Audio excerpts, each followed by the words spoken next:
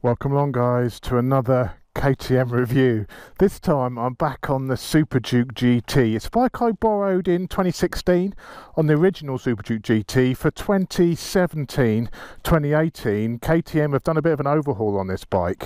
It's got the new front light on it. We'll go through all the details in a minute, but this is my review of the new KTM 1290 GT. What a bike. That's, that's not a giveaway. It, it, oh, let's get on it.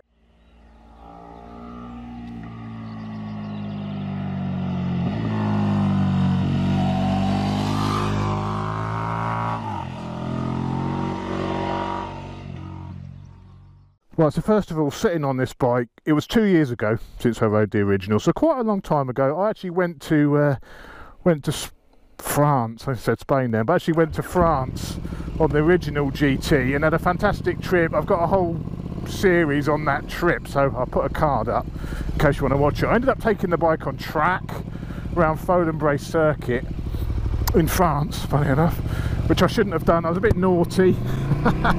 I wasn't really allowed to do that. I had no permission from KTM. But uh, it was fantastic and the bike absolutely surprised me how good it was on track.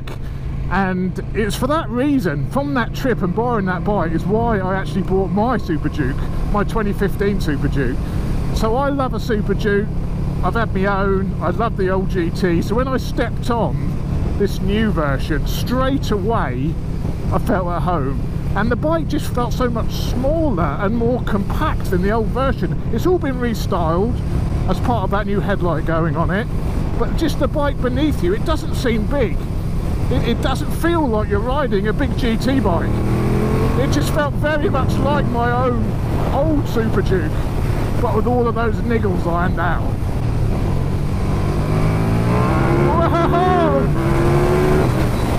It's got the go. it's definitely got the go this bike.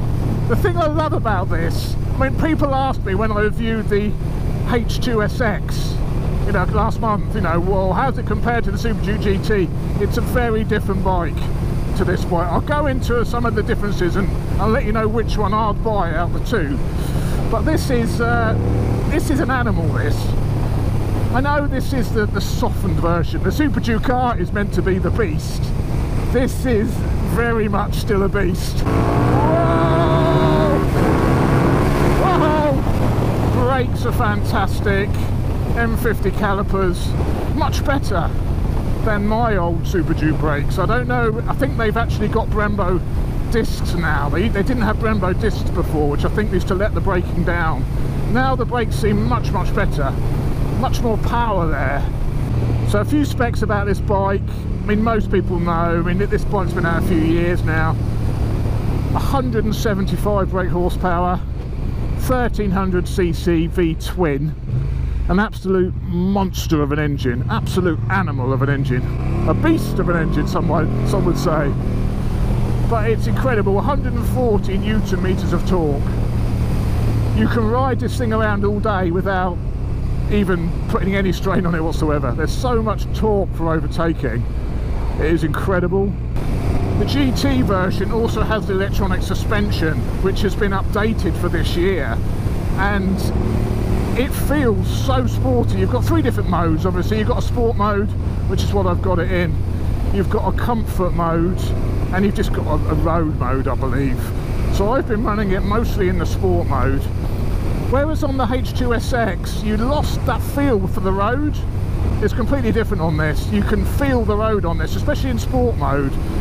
You get that feedback still, and you haven't lost that connection. So I, I think the electronic suspension on this is actually much better than what it was on the H2SX. The comfort mode, switching between comfort and sport, it's a slight difference. You can't feel masses of difference.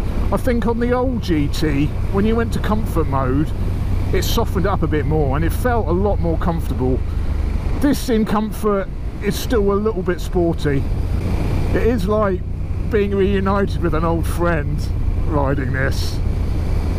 My old Super Duke, my 2015 model, I mean, I've got a whole video on why I got rid of that bike but it was the little things which started to annoy me with it it's in town manners you know the, the, the hesitation on and off the throttle the vibes from the bike if you took it below sort of 4,000 revs it would be very vibey. All of those things are fixed on this. One of the issues I had with my old Super Duke is the, the engine was really unusable below 3000 revs. It became really chuggy really vibey. On this third gear 2000 revs. Okay it's not in its peak torque area but it doesn't shake your teeth out this bike is a bit heavier than its R brother. That is one of the sacrifices you make for the additional fuel tank and the bigger styling and the electronic suspension. This comes in at 209 kgs dry. So by the time you've got fuel and oils on it in it you're probably looking at sort of 225 230 I mean that is still light compared to a GS though but it's it, and it's light compared to the H2SX which is about 260 so and I think you can really notice that that lightness you know? It is much more agile than the SX was. The SX was like a like an executive express really. If you want to do miles it will just get you there. This is much more of a an angry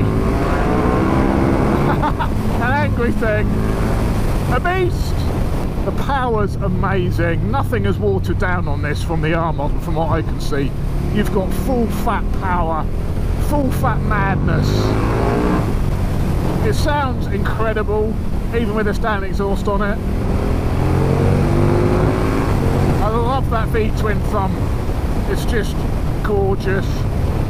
Ergonomics it's really comfortable you're sat you're sat in a sporty it feels a bit like the GS actually the, the, the, lower half positioning where the foot pegs are. Feels very GS like perhaps a little bit lower down obviously than the GS but a, that sort of sporty feel.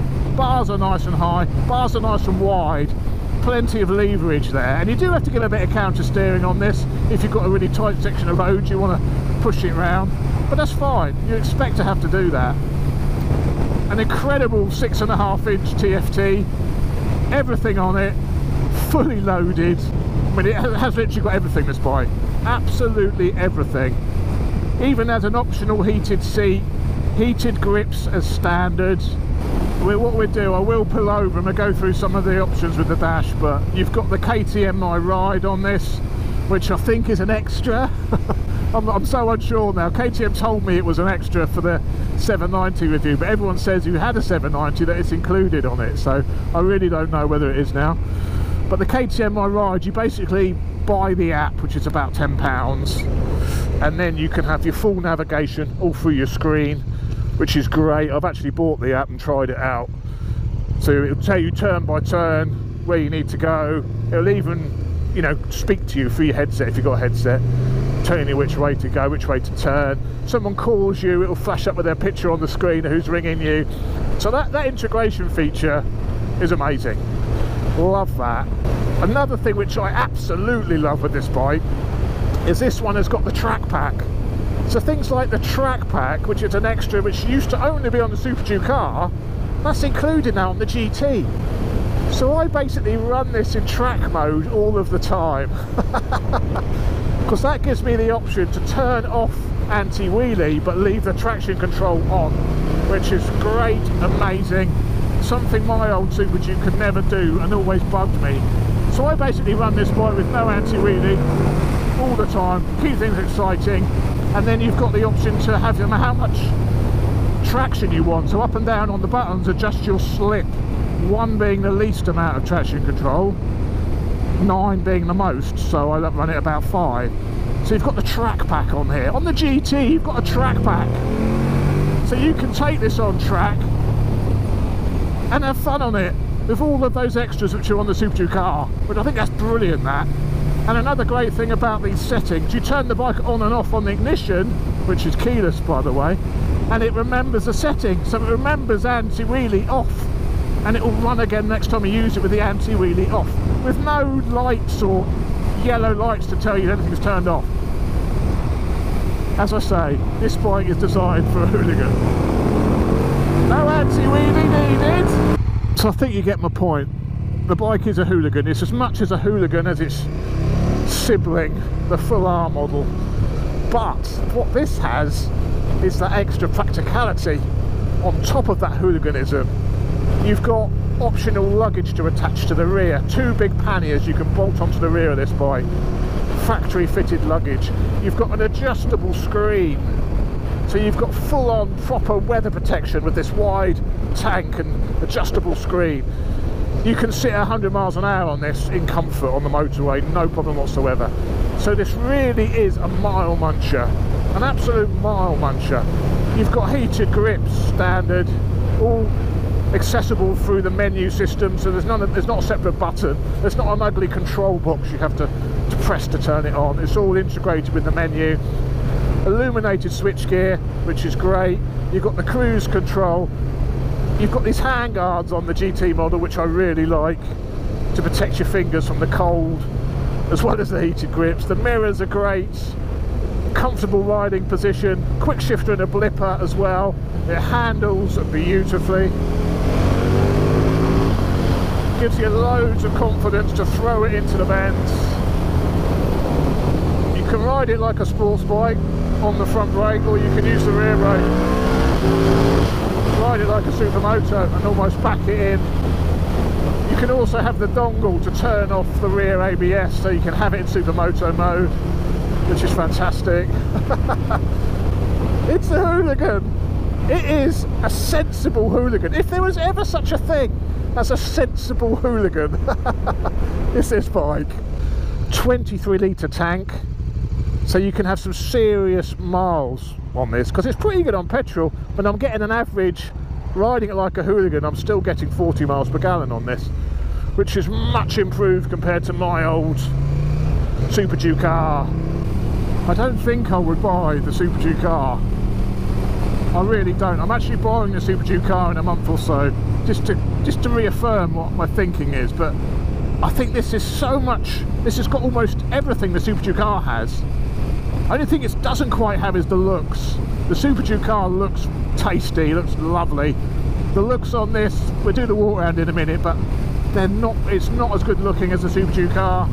You know, having that practicality, having those cornering lights this has got cornering lights by the way having that larger fuel tank you know having that screen and those are all things which is very hard to make look beautiful. So you know it doesn't look as mean as the Super Duke R this bike that's the only thing which has stopped me buying this over the GT the R over the GT and of course the price. This is 16,500 so it is a couple of grand more expensive than the Super Duke R give it the gas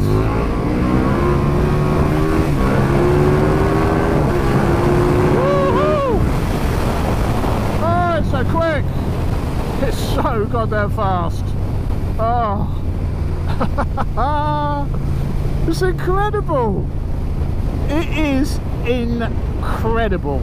As soon as I got on this bike, I knew straight away I loved it. There's some, I mean, I ride a lot of bikes, and this is right up there as one of my favourite ever bikes. When I got on this, I actually thought, oh, I could have bought one of these instead of the H2 that's, how good it was. I actually thought oh you know if you just had one bike one bike to do everything on this is it.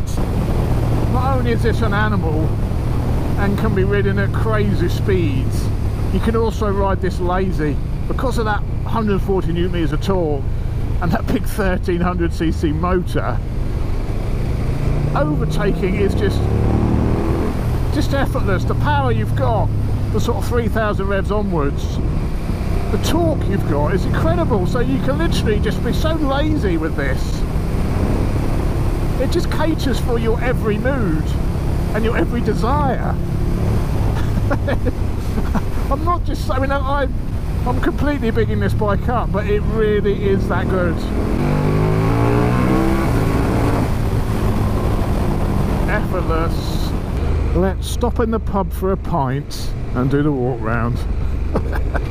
Only joking. So there it is, the Super Duke GT. As I say, you know, I actually think in these colours, it looks nice. It doesn't look as nice as a Super Duke R. I mean, that, like, as I say, that big tank and that screen, it's hard to get something which looks sexy, which is touring, but I think they've done a reasonably decent job on this. I do think the front light looks a little bit out of place. I mean, they are nice, these new LED lights with the KTMs. We've got the lovely, um, you know, daylight running lights around the outside. You've got the cornering lights on this as well here. But it, I'm not quite sure about the front, about that front light. I think from the front, the bike looks a little bit odd. I think every other angle it looks nice, but from the directly from the front it looks a little bit odd, have to be honest. Every other angle, yeah, it looks good, especially in these colours. I really like these colours on this. Hello, we've got someone pulling in now. I think what's this twat doing with the camera? The Brembo M50s, much improved over the older uh, the old brake setup on my old Super Duke. Yeah, I was correct. The actual discs are Brembos now. I think that's the improvement that I'm feeling over my old Super Duke. It didn't have Brembo discs. They do now. Makes a big difference. The braking feels much nicer. Um, 23 litre tank. As you can see, it's quite wide. It's a wide old bike. What I do find, being six foot two, I actually catch my knees under this lip a little bit here. I think if you're any taller than six foot two, you need to try try your fit on one of these because you may not fit on. My knees do catch a little bit on that extended tank. So something to be aware of if you're taller than six two. My knee just catches here, a little bit under here like that, just a tad. This is where the panniers connect to. So you've got full provisions for panniers, um, I believe you even have a, a, charger under the seat for your phone, a USB charger under the seat. There's also a USB charge port here beneath the dashboard here so you've got two USB chargers on this bike I'm not sure about having keyless fuel tank it always worries me a little bit that if this malfunctions you can't even put fuel in your bike but it's annoying to sorry there you go it's annoying to have to get your key out to actually put fuel in if the bike is keyless, isn't it? All sorts of settings. Okay, it's a bit like the, the, the 790. You can choose which what you want to show on your main screen, you know, your daylight, your blah, blah, blah. There's just so much on here. Heated seats, heated pillion seats. They're not fitted on this, that's an option, but it's there. I mean, if you want that sort of stuff, it's all there. The track pack, as I mentioned, anti-wheelie mode. You can have it on or off, so you, you can have wheelie control off, separated from the traction control which is brilliant launch control oh launch controls on I'm, not going to test that there the layout you can choose a track layout as well it's a slightly different layout to the display in track mode I may try that or there's an option there to leave the track if you leave the track you can't split your anti-wheelie and your traction control. That's the only problem. So track mode is great. I mean look at that. It's got a massive rev counter now when you're in track mode. So this bike is really set to do anything. What other touring bikes do you know of that have a track mode?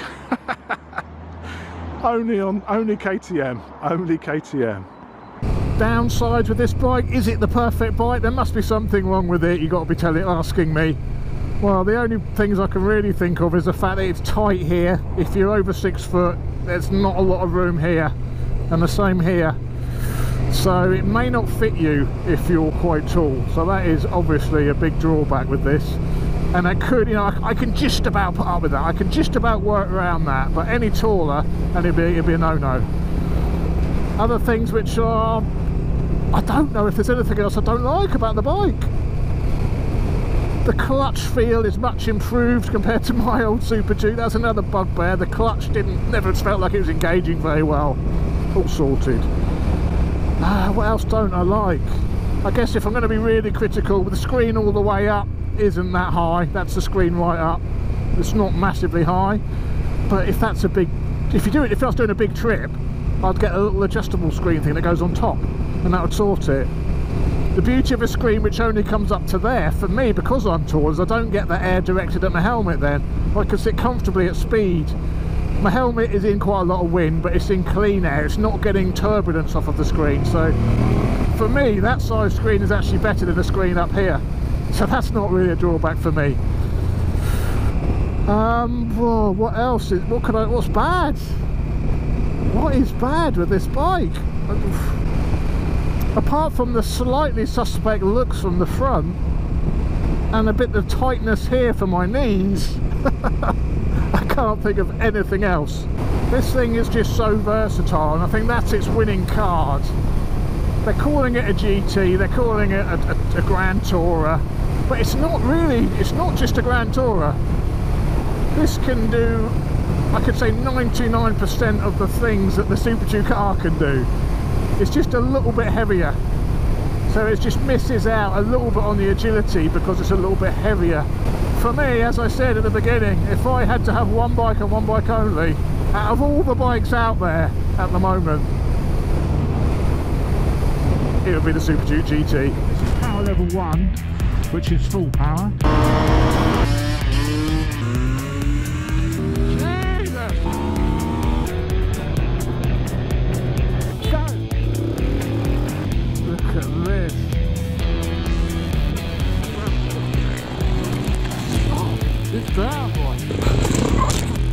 Check it, man. This thing is absolutely bonkers.